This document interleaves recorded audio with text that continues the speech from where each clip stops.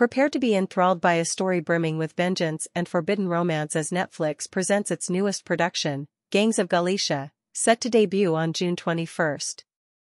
This Spanish suspense thriller, also known as Clanes, promises to hold viewers captive with its intricate plot and unforgettable characters.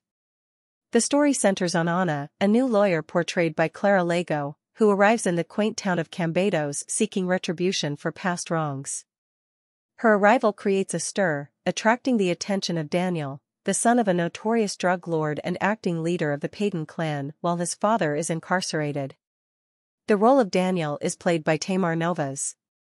The cast is further bolstered by renowned actors like Jose Antonio Touriñán, Melania Cruz, Francesc Garrido, and others.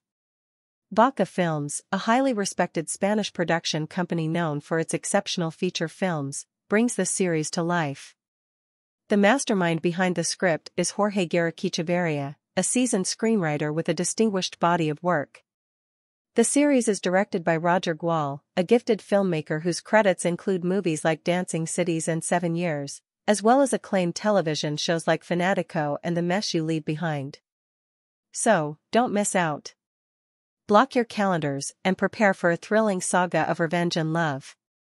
Stay tuned for further updates and remember to catch the premiere on June 21st.